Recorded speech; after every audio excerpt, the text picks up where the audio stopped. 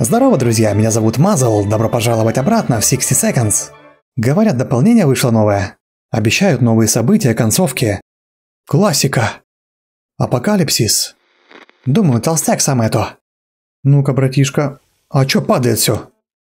Мы готовы. Аптечка. Замочек. Водички. Давай сразу. Доченька. Хавчик. Давай падай. Да возьми ж ты, боже, креслице. Жена и сынка. Топорик. Водичка, что-нибудь дайте. Похавать. Руководство. Потрошки. Водичка. Еда. Радио. Противогаз. Карта по-братски. Кидай, что еще? Винтовка. Винтовочка, боже, прыгай. Походу маловато. Первый день. Да, в принципе, более-менее. Все добрались до убежища за секунду до взрыва. Мы еле успели. Главное, чтобы вместе и живы. Здесь карты уже были. Вот это от души. Наши полки полны банок с супом. У нас много воды. Это самое переполненное припасами убежище, которое мы только видели. Да что вы лечите, а? Пока сидим. Музыка новая. Ух ты. Мы бы все отдали, чтобы снова нежиться под солнышком. А губа не дура. Ну-ка потише. Какая музыка прикольная, новая. Такая плавненькая. Мэри чувствует себя в безопасности. Отвечаешь? Смотри мне. Припасики. Пока сидим. Вылазка. Конечно, да. Мы очень скучаем по прежней жизни. Тортика бы. Молча сидим. Про-па-па-па-пам. Куда пойдем, куда пойдем? Давайте сюда. Пойдет доченька. Вот тебе водичка. Про-па-па-па-пам. Пам. И противогазик. Давай, дочура. Спасай семью. Мэри пошла погулять. Всем нужна вода. Да-да-да. Дышим спокойно. Вдох, выдох. Вдох, выдох. Вот так, не паниковать, не паниковать. Нужно сейчас же открыть дверь, иначе мы все умрем. Откройте дверь. О, господи. Ладненько. Это не конец, надеюсь? Кто пришел? Ты заболел? Ну ты чё, батёк? Как прекрасно проветрить убежище зараженным радиацией воздухом. Теперь вместо фобии у нас появилась новая проблема – рвота. О, господи. Да, ребятушки, Пока аптечку не используем. Опять батя жабой будет.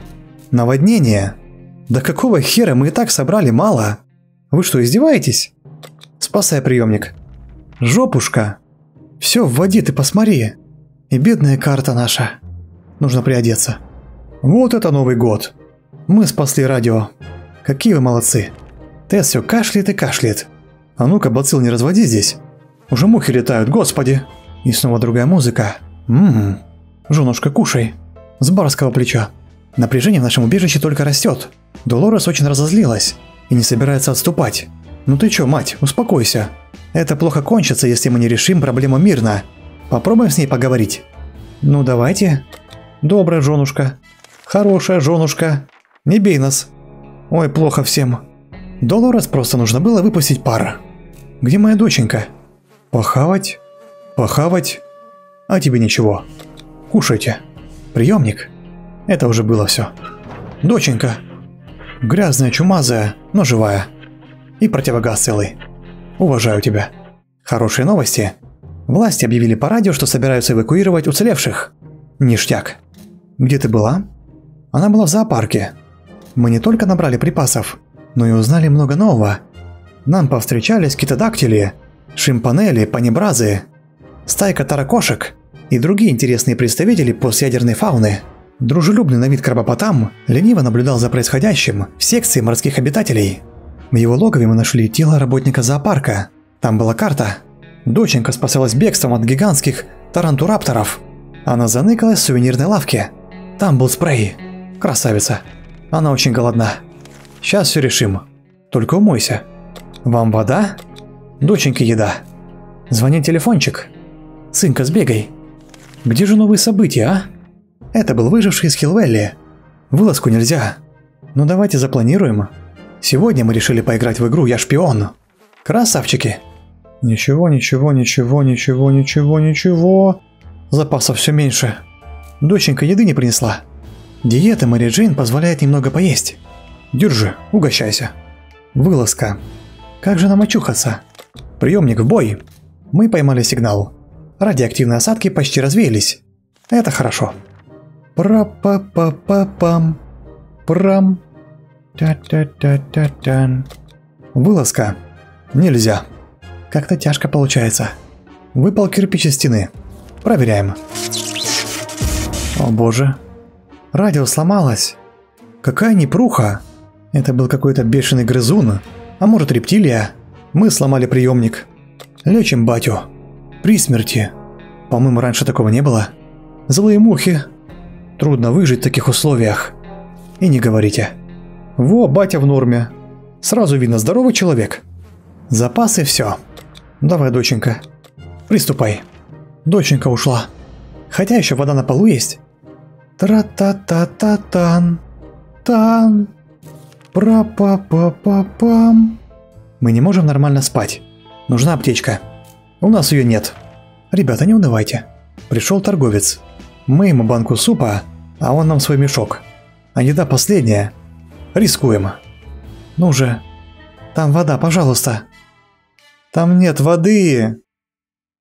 Э, это кто? Какого хера? Кыс-кыс-кыс-кыс.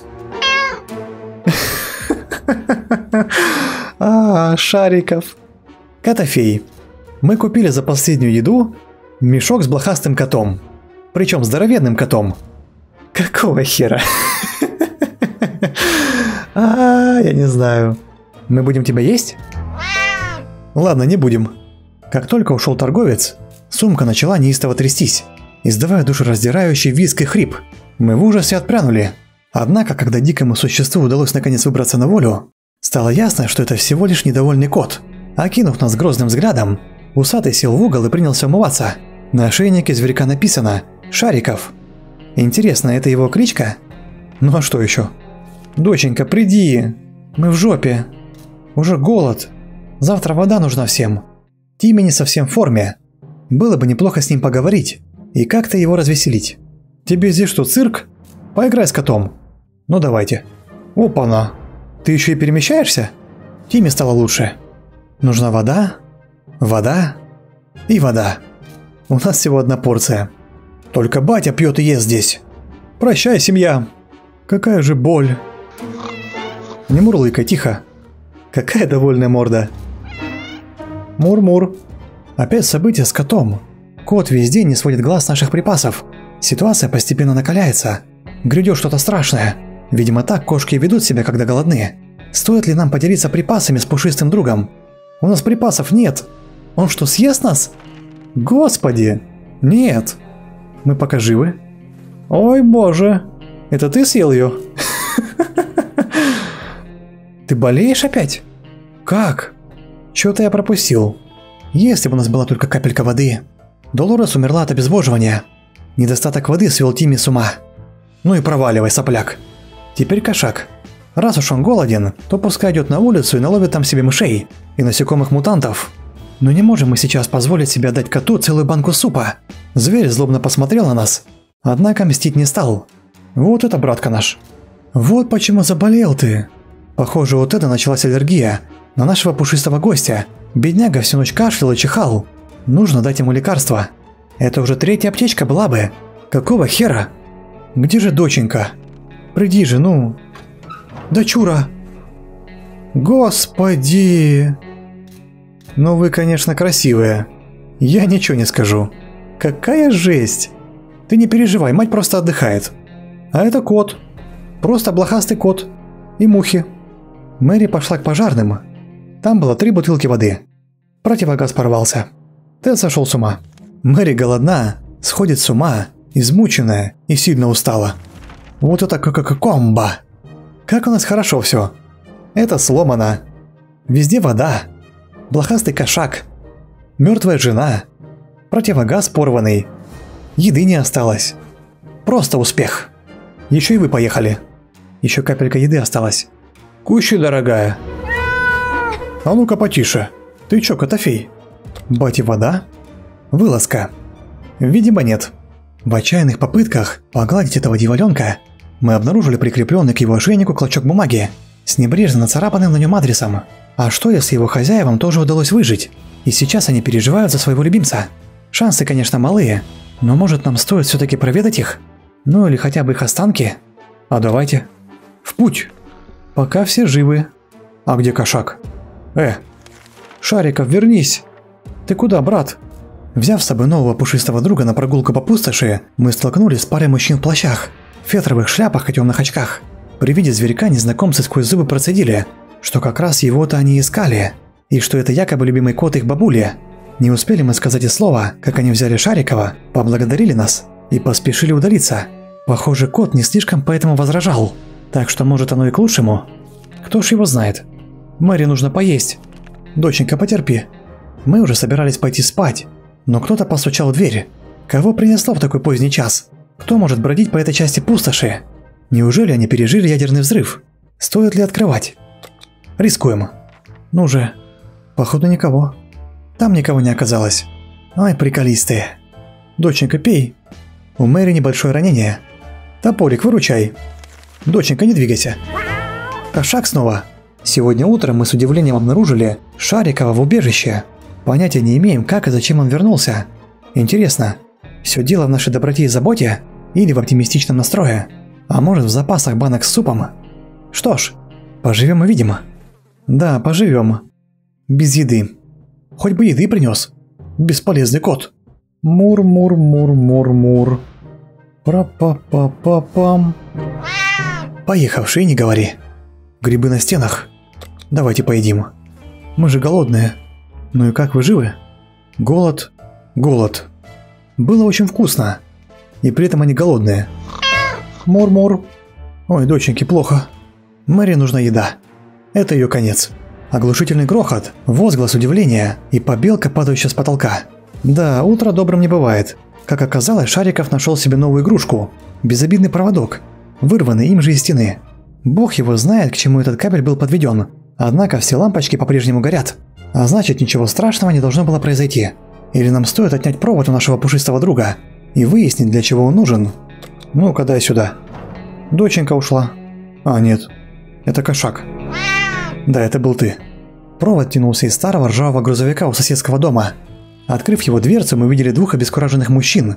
Оказывается, они подвели провод к убежищу, пока мы спали, и стали послушивать наши разговоры. Мы устроили им сбучку и вернулись в бункер. Да уж, голодание. Вылазка. Доченька и шашки. Приступай. Кто стучит? Мэри пошла погулять. Удачи. При смерти. Водичка. Агенты, которые за нами шпионили, теперь стучатся к нам в дверь, желая все объяснить. Ну давайте, рассказывайте. Конец. Рассказали. Помахав перед нашими носами какими-то удостоверениями, мужчины сообщили, что они находятся на сверхсекретном правительственном задании, а провод этот нужен для слежки вовсе не за нами, а за котом. Мол, наш Мурзик слишком уж смахивает на советского шпиона. Еще незнакомцы пообещали взять нас в свое супер-пупер тайное правительственное убежище, если мы поможем им с выполнением каких-то секретных миссий. Ну что ж, ждем, когда нас посвятят во все подробности. Мэри ушла. Тед был больной и голодный. Это конец. Какая же боль. Вы погибли. Вот такие новые события. Надеюсь, мы увидим новые концовки. Пока на этом все. Большое вам спасибо за просмотр и увидимся.